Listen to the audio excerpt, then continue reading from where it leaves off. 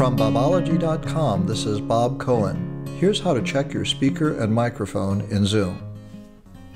To test your audio, open up the Zoom app on your computer, then click on the Settings icon. When you open up Settings, go over to the Audio settings. When you click on the Audio settings, you'll see that if your microphone is on, you'll have a sound level. Test your speakers by clicking on Test Speaker. Then click Stop. Test your mic by clicking on the Test Mic button and say something.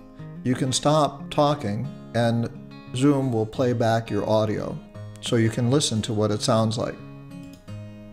Hi, this is Bob. I'm testing my microphone audio. Hi, this is Bob. I'm testing my microphone audio.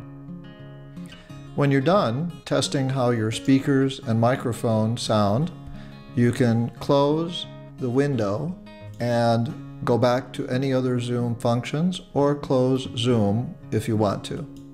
Thanks for watching. To learn more, visit the Bobology.com website and subscribe to the newsletter to learn more about technology for fun and profit.